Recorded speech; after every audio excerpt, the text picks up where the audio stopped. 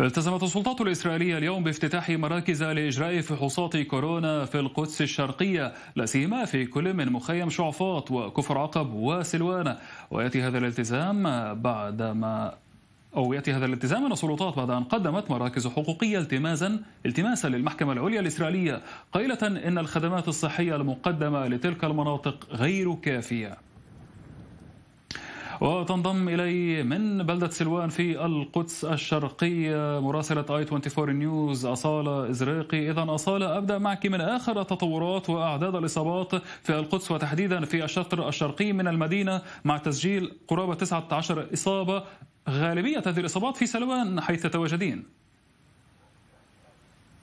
نعم إذا آه، آه، بشار أتواجد الآن في مدينة القدس حيث آه، تم تعريف مدينة القدس بأنها إحدى البؤر بتفشي فيروس كورونا. ارتفع عدد الإصابات حسب السلطات الإسرائيلية لأكثر من 2000 إصابة في هذه المدينة ومعظمها في الأحياء اليهودية حيث تم الإعلان بأن 75% من المصابين هم من الأحياء من اليهود المتزمتين. ووفقا لذلك تم إدخال الإجراءات الجديدة بإغلاق كامل لعدد من الأحياء اليهودية منذ الأمس. إذا هنالك أيضا ارتفاع لعدد الإصابات في من لسكان القدس الشرقية حيث تم الإعلان عن 75 إصابة حتى الآن. الإجراءات في هذه المناطق لم متغيبة نوعا ما لنقول آه، من قبل السلطات الإسرائيلية آه، وذلك آه، بعدم تنفيذ أو إجراء الفحوصات أو عدد فحوصات ملائم أو أو الذي يجب إقامته في هذه المناطق للكشف عن الإصابات فيها. أيضا بالنسبة للإجراءات الوقائية فإنها أيضا غير متواجدة حتى الآن في هذه المناطق. إذا أيضا كما ذكرت بشار لقد تم الإعلان عن أن السلطات الإسرائيلية ستقيم ثلاثة مراكز في القدس الشرقية لتقديم أو لإجراء الفحوصات لسكان هذه المناطق. ابتداء من يوم غد أحد هذه المناطق هي بلدة سلوان. أتواجد الآن في بلدة سلوان ومعي هنا السيد جواد صيام مدير مركز المعلومات وادي حلوة. إذا أستاذ جواد بداية ما هي آخر الأرقام للمصابين في هذه المنطقة؟ إيه، بداية السلام عليكم. يعني الأرقام المتوفرة لدينا هي ليست أرقام رسمية لكنها أرقام مؤكدة. في بلدة سلوان وحدها آه، وصلت حتى هذه اللحظة إلى 40 إصابة آه، يعني مؤكدة. آه، هناك يعني نحن نتوقع ارتفاع هذا العدد في الساعات والأيام القادمة. كون أن الفحوصات التي أجريت أمس ويوم أمس كانت عددها أكبر وكذلك آه، آه، الإجراءات التي تمت فيها الفحوصات في الأسابيع الماضية أو في الأيام الماضية كانت إجراءات بطيئة جدا. اليوم آه، رأينا كثير من السكان توجهوا لإجراء الفحص وكان الطابور كان مليئا بالناس يعني كان ساعات وقت الانتظار طويل. نحن نتحدث عن منطقة سكنية ذات كثافة سكانية عالية نحن نتحدث عن سلوان التاريخية بأحيائها التاريخية حي الثوري رأس العمود. آه، حوالي سبعين ألف نسمة في هذه المنطقة.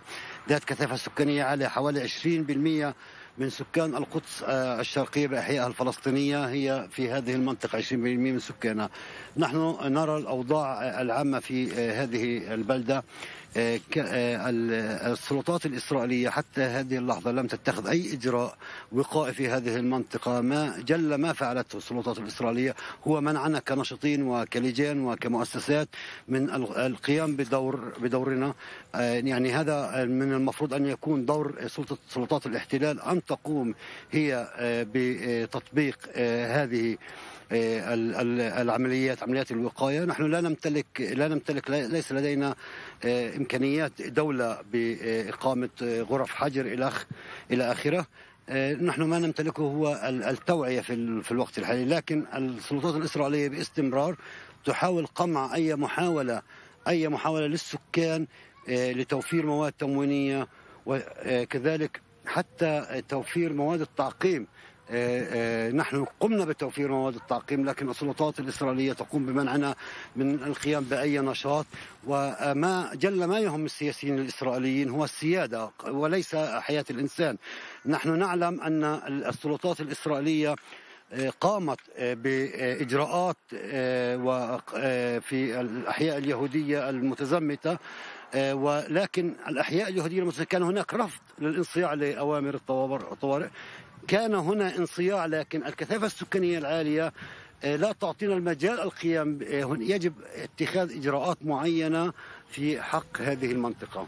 شكرا لك سيد جواد. اذا بشار هذه آخر التطورات والمعلومات بالنسبة لفيروس كورونا من مدينة القدس ومن بلدة سلوان. نعم مراسلة 24 نيوز اصاله إزراقي. كنت معني كنت معنا من سلوان. شكرا جزيلا لك ولضيفك الكريم السيد جواد الصيام مدير مركز معلومات وادي حلو في سلوان. وانضم إلي هنا في الاستوديو الدكتور محمد مسار والمدير الطبي لمراكز مكابي الصحية في القدس الشرقية دكتور أريد أن أتابع ما بدأ السيد جواد يقوله في سروان.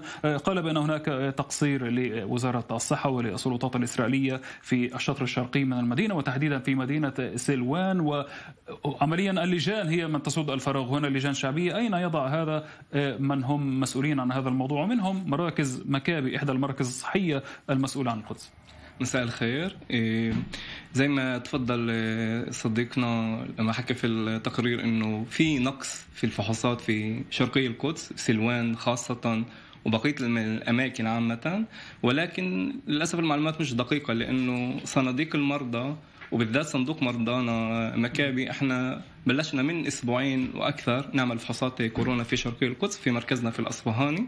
بيجونا ناس من سلوان ناس من أحياء أخرى من كفر عقب من اي مراكز ثانية. ما في مشكلة في انتقال الناس انهم يجوا يعملوا الفحص فالتقصير هو نوعا ما جهل وعدم مش إنه عدم اكتراث ولا انه ما كان ترتيب ملائم لشرقي القدس. الناس في شرقي القدس طلبوا وعلى بشتى الوسائل إن كان تواصل اجتماعي وإن كان الناس اللي بالشارع الجماهير طلبوا إنه هالفحوصات تنعمل.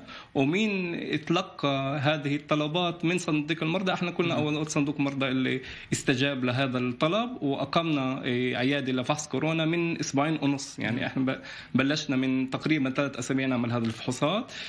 أكيد إنه وسطنا العربي وسط اللي فيه مشاكل وعي مشاكل وصول لهذه الأماكن اللي ممكن تعمل الفحوصات ولكن صراحة ما أنا شايفه تقصير في التقصير من ناحية السلطات. ان إن كان في أماكن معينة اللي في التقصير هو شامل فهو طيب بيشمل كمان. قلت بأن المشكلة هي أكثر في الوعي لكن أنت بدورك ومن خلال ما تراه هل جميع ما يقدم للأناس في القدس الشرقية من خدمات من حملات توعية من مراكز الفحوصات هي ذاتها كتلك المقدمة في القدس الغربية مثلا؟ أكيد لا أكيد لا. هي مش ذاتها المقدمة في القدس الغربية وإحنا دائما نسعى دوما بدور المسؤولين في إدارة صندوق المرضى إن إن قدر الإمكان أهالينا في القدس الشرقية يحصلوا على كافة الخدمات اللي ممكن ياخدوها في القدس الغربية. إحنا عارفين إنه التقصير هو تقصير شامل وعام ولكن بهذه النقطة صناديق المرضى وأنا مبسوط جدا كمان من صناديق المرضى بعد ما إحنا عملنا هاي المبادرة الأولى الكل فتح عياداته. كان في حاجة لأول ناس يفتحوا يعطوا ال ال الوعي يكبروه شوي في في حالة إنه أول عيادة فتحت كل العيادات فتحت وهذا الشيء صراحة مشكورين فيه المسؤولين اللي أعطونا المجال ان نعمل هاي الفحوصات للناس. طيب انطلاقا من النقطة التي ذكرناها قبل قليل هناك التماس قدم للمحكمة العليا الإسرائيلية بضرورة إنشاء مزيد من مراكز الفحص في مناطق مثل كفر عقب مخيم شعفاط وسلوان وحيث أيضا تتواجد مراكز مكابي الصحية. هل لديك المزيد من المعلومات حول هذا الأمر؟ لا شك أنه في هذه المراكز اللي هي وراء جدار مراكز اللي أو أماكن اللي صعب جدا بشكل لوجستي أنه إحنا نوصلها ونعطي الخدمة اللازمة. وفي كثير حالات اللي الناس بيستصعبوا الانتقال. مثلا كان تسكير في العيد اليهودي اللي صعب للناس الانتقال يجوا يعملوا فحوصات عندنا هاي شغلات إحنا بنعرفها موجودة. أكيد إحنا في حاجة إن نعمل جدار المشكلة إنها أيضا مكتظة بالسكان ما أكيد. سوف يزيد الطين بله 100% هي مكتظه بالسكان وكمان الصعوبة الانتقال واكتظاظ السكان يؤدي إلى انتشار حالات الإصابة بالكورونا أكثر. وإحنا يعني مع مع هذه المبادرة يا ريت نقدر نفتح قدر الإمكان من العيادات اللي, اللي تقدم هذه الخدمة. الحمد لله إحنا في من تجربتنا ما شفنا هذه الصعوبة في الانتقال لأنه في الشيء بيكون حيثي يعني الناس اللي هم طلبوا هذا الخدمة يلقيوها عنا بس أكيد بيكون أسهل وأحسن ان نوصلها لعند وين هم ساكنين لعند الاكتظاظ السكاني أكيد. نعم الدكتور محمد مصاروي المدير الطبي لمراكز مكابي الصحية في القدس الشرقية الشرقية. شكرا جزيلا لك على كل هذه المعلومات دكتور. شكرا جزيلا.